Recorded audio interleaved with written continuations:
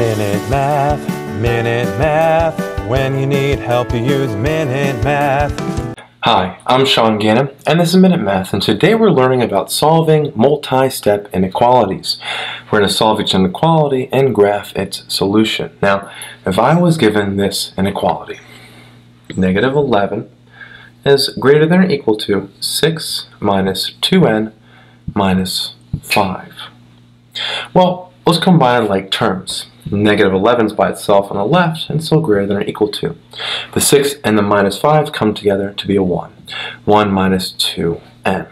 So let's go subtract a 1 to both sides now. And now we have negative 11 minus 1 is a negative 12. Negative 2n is still on the right.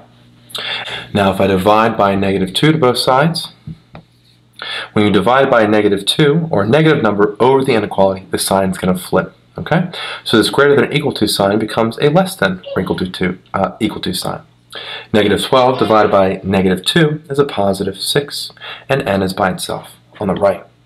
We can rewrite this to have n come first, so 6 is less than or equal to n, same thing as n is greater than or equal to a positive 6.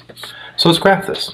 Put a 6 here, 7, 8, 9, 10, and 5, 4, 3, 2. If n is equal to 6, that means we have a closed circle there at 6. n is also greater than 6, so the arrow goes to the right, and there we have it.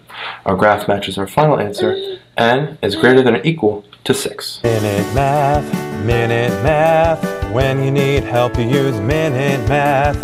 Minute Math, Minute Math. When you need help, you use Minute Math. MinuteMathTutor.com.